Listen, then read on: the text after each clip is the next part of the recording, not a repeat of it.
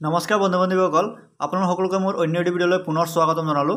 আজি আমি আলোচনা কৰিব গৈ আছোঁ অসম কৃষি বিশ্ববিদ্যালয়ৰ চি টি পৰীক্ষাৰ কাৰণে ফৰ্ম ফিল আপ কেনেকৈ কৰিব কি কি ডকুমেণ্টছ লাগিব। সম্পূৰ্ণ ডিটেইলছ আজি আপোনালোকক এই ভিডিঅ'ৰ জৰিয়তে দিব বিচাৰিম। তেনেহ'লে আপোনালোকে নিজৰ মোবাইল ফোনতে আপোনালোকৰ ফৰ্মটো ফিল আপ কৰিব পাৰিব। জাষ্ট আপোনালোকৰ ডকুমেণ্টছকেইটা ৰেডি থাকিব লাগে। চ' মই আপোনালোকক আজি কৈ দিম কি কি ডকুমেণ্টছ লাগে। সেই ডকুমেণ্টছ থাকিলে আপুনি নিজৰ মোবাইল ফোনতে নিজৰ ফৰ্মটো ফিল আপ কৰিব পাৰিব। চ' ভিডিঅ'টো আৰম্ভ কৰাৰ আগত আপোনালোকে যদি চেনেলটোত প্ৰথমবাৰৰ কাৰণে ভিজিট কৰিছে তেনেহ'লে চেনেলটো ছাবস্ক্ৰাইব কৰি পেলাই নটিফিকেশ্যনটো অন কৰি ৰাখিব। কাৰণ আমাৰ চেনেলৰ থ্ৰুদি আছাম এগ্ৰিকালচাৰ ইউনিভাৰ্চিটিৰ যিকোনো আপডেট সকলোতকৈ আগত দিয়া হয়। চ' বলক পলম নকৰি পেলাই আজিৰ ভিডিঅ'টো আমি আৰম্ভ কৰোঁ।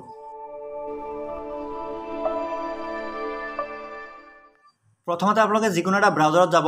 যোৱাৰ পিছত চাৰ্চ কৰিব এ আই ইউ চাৰ্চ কৰাৰ পিছত প্ৰথম অপশ্যন পাব A A U welcome you তাতে ক্লিক কৰিব। ক্লিক কৰাৰ লগে লগে এনেকুৱা এটা ইণ্টাৰফেচ দেখা পাব। ইয়াৰ পাছত আপুনি তললৈ স্ক্ৰল ডাউন কৰাৰ পিছত আপুনি এটা অপশ্যন দেখা পাব online application platform for admission two thousand twenty three twenty four so' তাতে আপুনি ক্লিক কৰি দিব। ক্লিক কৰাৰ লগে লগে আপোনাৰ আগত এটা পেজ খোল খাব। চ' তাতে লিখা থাকিব আপোনালোকৰ ৰাইট ছাইডত ৰেজিষ্টাৰ লেফ্ট ছাইডত চাইন ইন চ' আপুনি যদি প্ৰথমবাৰৰ কাৰণে ভিজিট কৰিছে বা আপুনি ফাৰ্ষ্ট টাইম অন কৰিছে তেনেহ'লে আপুনি ৰেজিষ্টাৰ কৰিব লাগিব। আৰু নহ'লে আপুনি যদি প্ৰথমে ৰেজিষ্টাৰ কৰি থৈছে তেনেহ'লে আপুনি চাইন ইন কৰি পেলাই ডাইৰেক্ট আপোনাৰ পিছৰ ষ্টেপকেইটা কৰিব পাৰিব। চ' আমি যিহেতু নতুনকৈ আহিছোঁ চ' আমি ফাৰ্ষ্টত ৰেজিষ্টাৰ কৰিম। ৰেজিষ্টাৰ কৰাৰ পিছত আমাৰ যেতিয়া মোবাইল নাম্বাৰত অ' টি পি যাব ৰেজিষ্ট্ৰেশ্যন নাম্বাৰ পাম পাছৱৰ্ড থাকিব তেতিয়া আমি চাইন ইন কৰি পেলাই আমাৰ পিছৰ যোনকৈ ডকুমেণ্টছ আপলোড কৰিব লাগে সেইটো কৰিম। চ' ৰেজিষ্ট্ৰেশ্যন কৰাৰ কাৰণে আপুনি প্ৰথম ৰেজিষ্টাৰ অপশ্যনত ক্লিক কৰিব কৰাৰ পিছত এনেকুৱা এটা ইণ্টাৰফেচ দেখা পাব য'ত লিখা আছে register to create an account to apply so' তাতে লিখা আছে applicant should submit only one application if more than one applications are submitted by candidate the admission committee reserves the right to accept any one of the applications and reject the remainder so' আপোনালোকৰ যদি যিকোনো ষ্টুডেণ্টে দুইবাৰ বা তিনিবাৰ apply কৰে তেনেহ'লে যিকোনো এটাহে একচেপ্ট কৰিব বাকীকেইটা ৰিজেক্ট যাব।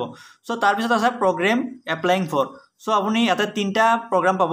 প্ৰথম আছে বেচেলৰ ছেকেণ্ডত আছে মাষ্টাৰ্ছ তাৰপিছত আছে ডক্টৰেল চ' আপুনি যিহেতু ইউ জিৰ কাৰণে এপ্লাই কৰিব চ' আপুনি চুজ কৰিব বেচেলৰ চ' কৰাৰ পিছত তলত চাব আপুনি এপ্লিকেণ্ট টাইপ চ' আপুনি ডমেষ্টিক পাব চিলেক্ট ইয়ৰ ষ্টেট তাৰপিছত আছে ইণ্টাৰনেশ্যনেল চ' আপুনি যদি আছামৰ পৰা কৰিব বিচাৰিছে তেনেহ'লে ডমেষ্টিক চুজ কৰিব আৰু যদি বাহিৰৰ পৰা আহিছে তেনেহ'লে ইণ্টাৰনেশ্যনেল চুজ কৰিব। কৰাৰ পিছত নিজৰ ষ্টেটটো চিলেক্ট কৰি ল'ব। তাৰপিছত তলত আছে এপ্লিকেণ্টছ নেম চ' নিজৰ ফাৰ্ষ্ট নেম মিডল নেম আৰু লাষ্ট নেমটো লিখিব। লিখাৰ পিছত পেৰেণ্টছ ডিটেইল চ' পেৰেণ্টছ ডিটেইলত প্ৰথম আছে mothers name so mothers নেমৰ first name middle name last name আছে। চ' তাৰপিছত আছে father name so father নেমত same first name middle name last name তাৰপিছত আছে গাৰ্জেন ডিটেইল চ' আপোনালোকৰ যিকোনো এটা গাৰ্জেনৰ নাম দিব। ব্ৰাদাৰ দিয়ে বা কিবা খুৰা দিয়ে যিকোনো এজনৰ নাম দিব। First name middle name last name তাৰপিছত আছে gender male female transgender so' আপোনাৰ যোনটো জেণ্ডাৰ থাকে আপুনি চিলেক্ট কৰিব। কৰাৰ পিছত আছে ডেট অফ বাৰ্থ চ' আপোনাৰ নিজৰ নিজৰ ডেট অফ বাৰ্থটো চিলেক্ট কৰি ল'ব। চ' কৰাৰ পিছত আপোনালোকৰ তলত আহিব মোবাইল নাম্বাৰ চ' মোবাইল নাম্বাৰটো ইয়াতে কৈছে this should be your own mobile number which will be recorded for future official correspondence so' mobile নাম্বাৰটোত আপোনাৰ নিজৰ নিজৰ পাৰ্চনেল মোবাইল নাম্বাৰটো দিলে বেছি ভাল হয়।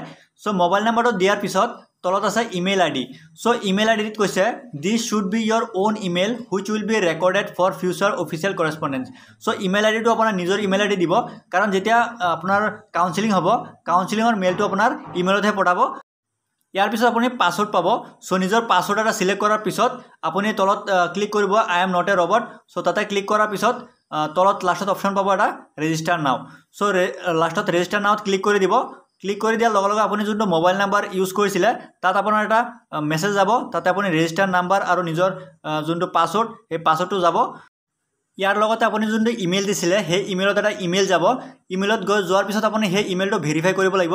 চ' এনেকৈ আপুনি পাব click here to verify your account so' আপুনি ইয়াত ক্লিক কৰাৰ লগে লগে আপোনাৰ ইমেইলটো ভেৰিফাই হৈ যাব। ভেৰিফাই হৈ যোৱাৰ পিছত আপুনি এনেকুৱা এটা ইণ্টাৰফেচ দেখাব ইয়াৰ পিছত আপুনি চাইন ইনত ক্লিক কৰাৰ পিছত আপোনাৰ ৰেজিষ্টাৰ নাম্বাৰ আৰু পাছৱৰ্ডটো দি পেলাই আপুনি চাইন ইন কৰিব পাৰিব। চাইন ইন কৰাৰ পিছত আপোনালোকৰ আগত এনেকুৱা এটা ইণ্টাৰফেচ খোল খাব। চ' তাত লিখা আছে ইয়ৰ কেটেগৰী অৰ কোটা চ' আপোনাৰ ইয়াতে তলত আছে কেটেগৰী চ' কেটেগৰী বহুতকেইটা আছে। O' B C M O' B C S C S T তাৰপিছত ই ডাব্লিউ এছ চ' আপোনাৰ যোনটো কেটেগৰী হয় সেই কেটেগৰীটো চিলেক্ট কৰিব। চ' মই ইয়াত যিহেতু চিলেক্ট কৰিছোঁ আনৰিজাৰ্ভ চ' আনৰিজাৰ্ভ চিলেক্ট কৰাৰ পিছত তলত আৰু এটা অপশ্যন আছে ইকনমিকেলি উইকাৰ ছেকশ্যন চ' যদি আপোনাৰ ই ডাব্লিউ চাৰ্টিফিকেটটো আছে তেনেহ'লে য়েছ ক্লিক কৰিব নাথাকিলে ন' ক্লিক কৰিব। চ' মোৰ যিহেতু আছে চ' মই য়েছ ক্লিক কৰিলোঁ। কৰাৰ পিছত তলত কিছুমান কোটা আছে। চ' যদি আপুনি কোটাত এলিজিবল থাকে তেনেহ'লে আপুনি ক্লিক কৰিব পাৰে।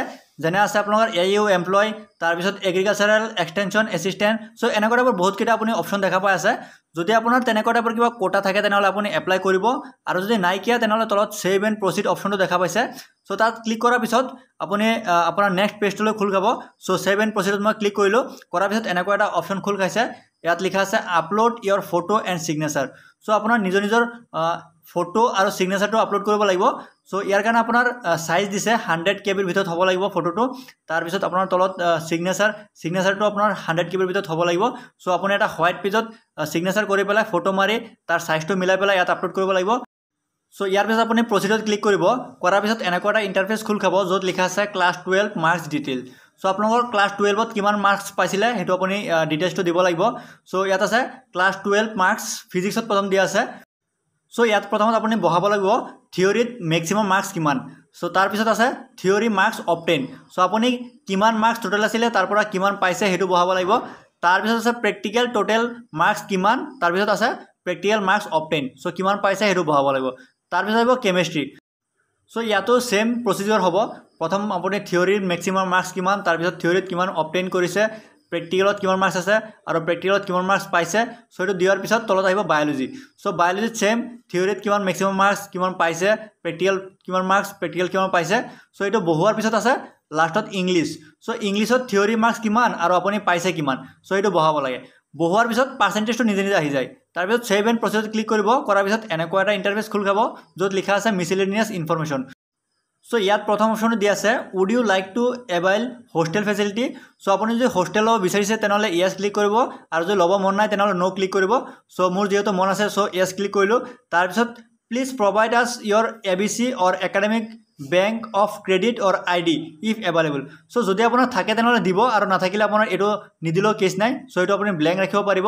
তাৰপিছত আছে as you have a gap period please specify the reason so' আপুনি যদি গ্ৰেপ দিছে মানে ড্ৰপ দিছে তো ড্ৰপ কিহৰ কাৰণে দিছে এইটো ৰিজনটো দিব লাগে। চ' মই যিহেতু নিটৰ কাৰণে ড্ৰপ দিছোঁ চ' মই ৰিজনটো লিখি দিছোঁ for NEET drop or for NEET exam আপুনি যি লিখিব পাৰে ইয়াত ৰিজনটো নিজে যিহৰ কাৰণে ড্ৰপ দিছে সেই ৰিজনটো ইয়াত লিখি দিব। তাৰপিছত তলৰ অপশ্যনটো আছে have you ever taken admission in Assam agricultural university earlier and discontinue the degree programme so' আপুনি যদি এডমিশ্যন লৈছে তেনেহ'লে য়েছ ক্লিক কৰিব। আৰু যদি নাই কৰা তেনেহ'লে ন' ক্লিক কৰিব। চ' ইয়াতে যিহেতু মই এডমিশ্যন লোৱা নাই চ' ইয়াতে ন' ক্লিক কৰিছোঁ। চ' আপুনি ইমানখিনি কাম কৰা হোৱাৰ পিছত ছেভ এণ্ড প্ৰচেছত ক্লিক কৰিব। কৰাৰ পিছত এনেকুৱা এটা ইণ্টাৰফেচ খোল খাব য'ত লিখা আছে ইউজাৰ আপলোডছ চ' আপুনি কিছুমান ডকুমেণ্টছ আপলোড কৰিব লাগে। চ' প্ৰথম আছে এজ প্ৰুফ চাৰ্টিফিকেট চ' আপুনি এজ প্ৰুফ চাৰ্টিফিকেটৰ জেগাত আপুনি বাৰ্থ চাৰ্টিফিকেট আপলোড কৰিব পাৰিব অথবা ক্লাছ টেনৰ এডমিট কাৰ্ড আপুনি আপলোড কৰিব পাৰিব।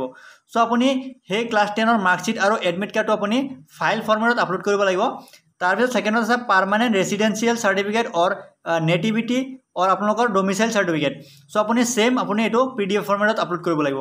তাৰপিছত তলত আছে migration or transfer certificate so' আপুনি মাইগ্ৰেশ্যন চাৰ্টিফিকেটটো আপলোড কৰিব ছেইম পি ডি এফ ফৰ্মেটত তাৰপিছত আছে মেডিকেল ফিটনেছ চাৰ্টিফিকেট চ' আপুনি মেডিকেল ফিটনেছ চাৰ্টিফিকেটটো ইয়াৰ পৰা আপুনি ডাউনলোড কৰিব লাগিব।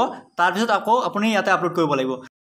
ইয়াৰ পিছত আপোনালোকৰ আছে ইকনমিকেলি উইকাৰ ছেকশ্যন আৰু আপোনালোকৰ গেপ চাৰ্টিফিকেট চ' দুয়োটা আপুনি পি ডি এফ ফৰ্মেটত এটা আপুনি আপলোড কৰিব লাগিব।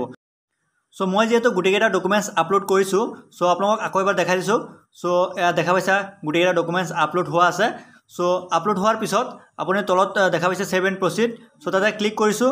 ক্লিক কৰাৰ পিছত আপোনালোকৰ এনেকুৱা এটা ইণ্টাৰফেচ দেখা পাব। চ' য'ত লেফ্ট চাইডে আপোনাৰ নিজৰ ফটো থাকিব আৰু ছিগনেচাৰ থাকিব আৰু আপুনি এবাৰ চেক কৰিব পাৰিব কিবা ভুল হৈছে নে নাই। চ' যদি কিবা ভুল হৈছে তেনেহ'লে আপুনি আকৌ কাৰেকশ্যন কৰিব পাৰিব। কিন্তু আপুনি তেতিয়ালৈ কাৰেকশ্যন কৰিব পাৰিব যেতিয়ালৈকে আপুনি পে'মেণ্টটো নকৰে। চ' যদি আপুনি পে'মেণ্টটো কৰি দিয়ে তেনেহ'লে আপোনাৰ কিবা ভুল থাকিলে আপুনি কাৰেকশ্যন কৰিব নোৱাৰে। চ' সেইকাৰণে আপুনি ভালদৰে চাব এবাৰ। চোৱাৰ পিছত যদি কিবা ভুল হয় তেনেহ'লে আকৌ আপুনি বেক অপশ্যন পাব যোৱাৰ কাৰণে। চ' গৈ পেলাই আপুনি কাৰেকশ্যন কৰাৰ পিছত আপুনি পে'মেণ্টটো কৰিব।